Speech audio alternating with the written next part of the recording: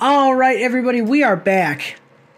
And I'm going to tell you guys, we have something co- now coming up with this next trailer that I am really, really um, excited for because I really loved. I just, I love everything about this. So, have you played this game? No, but I think my one son played it one time. Was Okay, playing so it. So, my dad and I. cool. Pretty cool watching it. Yeah. Yes, my dad and I played this game. I mean, not together. It's not a two-player game. Um, my dad and I played this game and did a review, and then I went, and this is the only game that I've ever platinumed, meaning that I got everything in the game. I got all. I did everything. I beat the final boss and everything. And I've never done that before in a game. I usually get close, but I with games that I really like, but I've never done that. So I'm very excited for this Yeah. next one. And this is a, a total surprise. Other Mike, if you don't know this because you haven't played, like this is a total surprise. They did not say that they were going to do this. This was going to. It was over. It was over. And now we've got a, a light at the end of the tunnel here um, that we're all waiting for because we are watching the trailer for. The action pack needs you. You can support Mike's After Action reviews on our Patreon for as little as $3 a month. Every quarter, once we've made at least $200, we're going to be giving away 10% of our earnings from Patreon in a giveaway over on our Twitch, so go check that out as well. You can find all of the links for everything in the description and in the pinned comment down below. Do your part. Support the pack. The Action Pack. God of War Ragnarok Valhalla. Reveal trailer, PS5 and PS4 games. So basically, if you guys don't understand what this is, God of War Ragnarok was awesome. It marks the end of the um, well, because it's only two games, so it's not a trilogy. But this was going to be the end of the God of the new God of War games, okay? And then they were going to move on with something else, possibly uh, moving on with um, Kratos' son Atreus. Okay, uh, now they have released this DLC, and it's and I don't know what it's going to be, but people are really excited about it because people were like, "Oh, there's not going to be a third game for this." Well, there's not probably not going to be a third game with Kratos, but there is going to be whatever this is. So let's check it out. So coming at us from PlayStation, we liked the video. Embark with Kratos to Valhalla on a deeply personal and reflective journey towards a future he never thought possible. Master challenges to find uh, bind body. Man, I'm messing this up. Master challenges of mind and body on an unraveling adventure that blends the beloved combat from God of War Ragnarok with brand new elements inspired by the roguelite genre. Developed by Santa Monica Studios for PlayStation 4 and PlayStation 5 consoles, free to download from PlayStation Store. God of War Ragnarok, um, God of War Ragnarok base game required. So this is free. I didn't re I didn't realize that this was that this was even going to be free. So if you own God of War Ragnarok, you can get this. I don't know when it's going to be when it's released. We're going to check that out here. It's going to probably be in the trailer. What are your thoughts on that? Do you have any thoughts on that it- before we get started? It's an addition. Is that what it is, or like a continuation of the previous game? Like you just download and it builds on the last game. Right, right. It's like yeah, so like it's a DLC. It's it's like it's it's like you're going to be able to go into a new realm cuz cuz within the mm-hmm. game within the game they have the Bifrost bridge that connects the nine realms or whatever. And we haven't been able to go to all of the realms in the game yet, I don't believe. Mm-hmm. So this is this is probably yeah, like you're going to go to the place where you can open up the next realm or open up the realms and there's going to be another one you can visit which is going to be whatever this is. So and which we're going to be and it says You could be roguelite. double plat- You could do what? You could be double platinum. Ex- I know. I know. I'm so excited. Um, yeah. Uh, so I think that I think that uh, and it says roguelite. So if you don't know, roguelike is where you play through games and like you die and then start over again and then play through it again and then die and start over again. And usually every time that you die, uh, or you play through the game, you like might unlock something, or and and then when you die, you carry that forward to your next playthrough, but you have to play the whole game over again.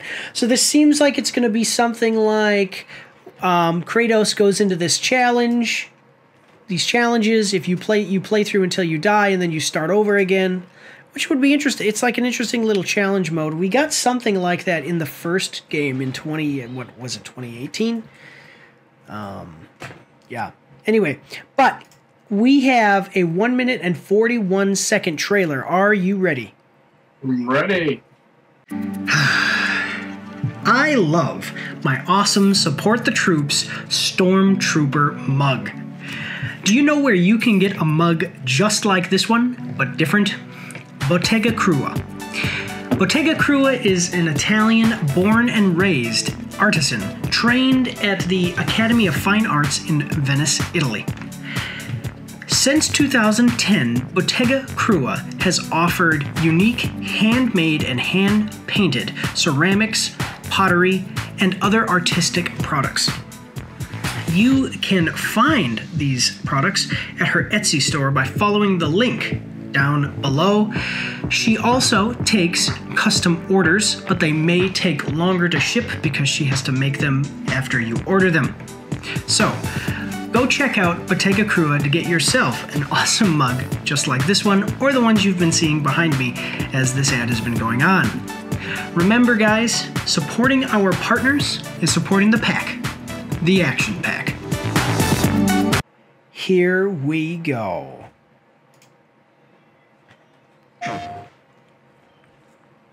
All right.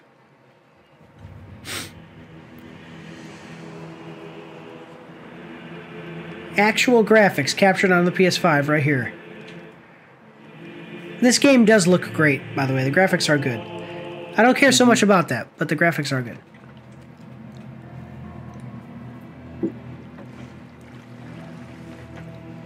You are certain you remember nothing of this place? Oh, no. I just want to point out real quick a little a- analysis here. I'm pretty sure that's new armor. I'm not. I'm not exactly sure because you can customize the armor, but that looks like new armor. So new equipment. Certain you remember nothing of this place? Oh, nothing that would help us. Master thyself.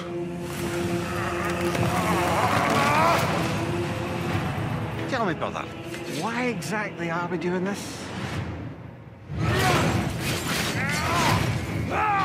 Yeah. Is this?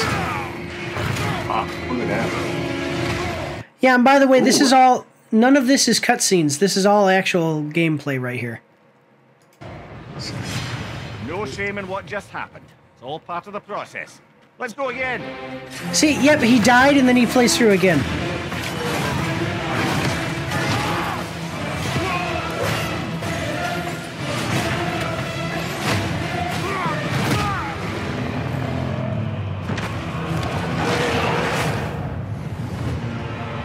Right.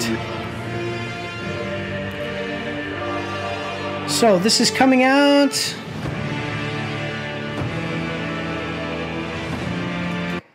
December 12th. December 12th, you'll be able to play through this. Okay, one sec. Free DLC. That is awesome. Okay, so it looks like you go to Valhalla. What is the coolest thing that I see so far here is that you're fighting these guys. Now, these guys are all Norse mythology related because we're in Norse mythology now. But then what else is cool is so so if you don't understand, Kratos is a Greek god. In the original series, God of War 1, 2, and 3, you fight Greek gods and you end up killing all of the gods of Olympus, even including Zeus. And, and in the first game, you be, you kill Ares, the god of war, and you become the god of war. Okay, then you kill all of the gods, and then after that, you start off like you leave your realm and come to the Norse gods. All right, now this is a Cyclops, which is from Greek mythology. So it looks like while you're here in Valhalla, you're going to be fighting Greek monsters too. Because because in the you know n- n- the Cyclops are not in North Norse mythology, um, or at least in these games, you know.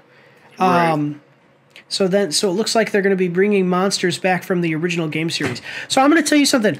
This is an action game, and there's a little bit of nudity in it. Okay, and that's because some of the Greek characters, they, you know, just in Greek historical times. You know, some of them were just naked. Like there's a priestess that you see in the second game, I think, or the even the first game, where she's like wearing clothes that you can kind of see through. You know, but it's it's all like PS2 graphics too, so you so it's not a big deal. Like it's not a big deal. It's tasteful. Okay, I just it's I would say that it's historically accurate. All right. Anyway, but what this what this game series is actually about is about fatherhood. Like it actually is about and you do, and I didn't really actually realize this until I played through the new ones because because this is a new like I said there's only two games there's not a trilogy but this is the new set of games where it's a where it's a third person game where it's like uh, the camera's right behind your your back as you're playing like you're it looks like this. The other ones is where it's zoomed out and your character's walking around over here and you fight but anyway, I'm just saying the God of War games is actually about fatherhood. In the first trilogy, um, Kratos loses his wife and daughter, and because of that, he goes on a quest for revenge to avenge them. In this one, he has a son and he's trying to raise his son to be a better man than he was. That's like the whole that's the whole overarching arc of the character for all of these games. It's a really good game about being a good dad. Yeah, and what that means. But anyway, that's kind of my rant. I love these games and I love the fact that they're about that. So that's cool. Uh, any thoughts on it though? I'm sorry, I didn't mean to like go off on a little tangent too much, but what are your thoughts? No, no and that's it's cool. I mean, I like it. It looked like it would be fun to play. It's like I, I haven't I haven't played it, so I don't know what the what it's like gameplay. But it's got some pretty good graphics, a lot of cool weapons a lot of diff- a bunch of different characters that he has to fight. So it's kind of nice that they uh, it's free for those who got the previous game and stuff. So. Right, right. Yeah. I, I so one thing one thing that you see in the combat here, um, so in these ones there's no nudity. Yeah, I, I, yeah, there's no nudity in these ones. But one thing that you see in the combat here is this right here. I'll show you. So you see how this guy attacks and then you get like swung around. Okay, so one of the big things that even in the original game, which came out on the PS2, was that you would fight enemies, and then once they got low enough health, there would be a button that would show up over their head, like a minotaur. Okay, and then if you mm-hmm. ran up to it and you pushed the button, I think it was circle, you'd grab like you'd grab the minotaur by the horns and you'd throw him on the ground, and then it would tell you to tap a button, and you'd start punching him, punching him, punching him, and then finally, you know, to kill him, you'd like twist his head off or cut his head off. So it's it is an adult it is an adult game as far as the graphics and stuff but the combat is very cinematic because it's it's a quick time event and it looks like this. So as you're fighting guys, you'll be you'll be attacking doing attacks like like this right here, like that. See? That's like where a button appears and you grab him and then you see him do like a real quick kill. So as you're playing it actually is is um cinematic. And the combat is very like, good. It was like the uh, Ragnarok shanking. Yeah, there you go. um, yeah, yeah, there you go. Yeah, those are his his his swords that you see with the with. That's what the that's what's on those chains is those swords, and he can like swing them around and hit people with them. But anyway, yeah. So I'm really excited for this. It comes out on the 12th, three days. I had no indication that they were doing anything more with this series. They kind of they ended it really well. Um, and it's cool to see that they've just given you a little extra. I imagine that they're working on something. They've got to be working on something with the characters moving forward of his son and him. But it looks like Atreus, his son, is not in these because usually his son is with him. His son is like a is like a teenager, but he's usually like walking around with you and helping you fight and stuff, and that's not happening here. So, so this must happen after the main the game ends, after the main campaign ends, and then your son is not going to be with you. So that's cool. But okay, let's check out what the comments have to say to see. Yeah, let's check out what the comments have to say. Here we go. The fact they made a free DLC is insane. Thank you, PlayStation and Santa Monica Studios. You are the best. That is, um, yeah, that is, that's awesome. That really is cool. I, we do appreciate it. I hope everyone was paying attention to this. This is how you make people excited for a DLC. A gameplay trailer, a swift release date, and best of all, it's 100% free, extremely hyped. That is really cool. In a modern era, in a modern era where um, you have all of these microtransactions and you have to pay and pay and pay and pay and you buy the game and then oh if you want to play this section of the game you got to pay and if you want to have this kind of armor in the game you got to pay and if you want that weapon you got to pay it is so cool to see them releasing basically a second campaign, probably much shorter than the first one. Okay, don't get me wrong, but like a second big section of the game for you to play for free. Yeah. Uh, it's so rare these days to see a company genuinely care about their fans. Thank you, Santa Monica. I will always buy your games.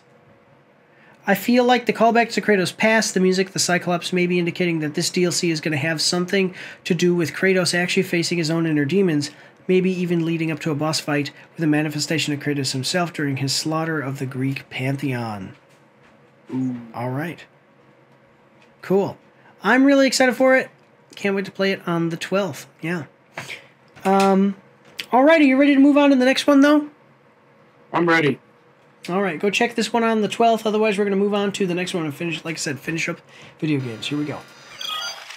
Don't forget to check me out on Twitch and join the Discord where you can voice chat with me while I live stream and you won't be recorded or anything on YouTube and Twitch, so that's pretty cool. You can also find me on Facebook and Instagram.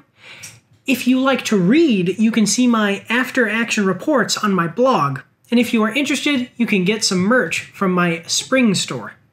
The links for everything are in the description below.